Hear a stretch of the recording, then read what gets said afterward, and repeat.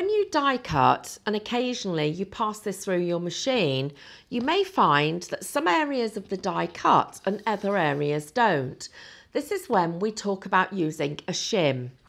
So a shim can be a number of different things. It can be a piece of cardstock, it could be a thin magnetic sheet.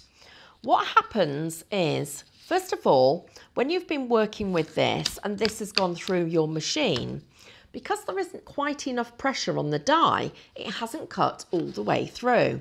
So we have a number of different options.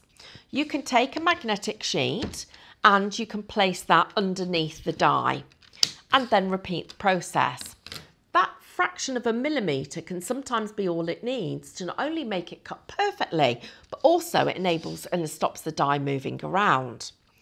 The other thing is you could take a number of sheets of cardstock and place those on top of the design and that then increases the pressure because of the thickness that's going through your machine.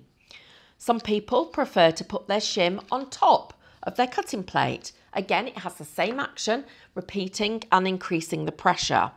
The other thing that I just want to share to you, which is really important, is if there is just one area of your die that's not cutting, instead of putting a piece of cardstock over the whole die, what we do is patch shim.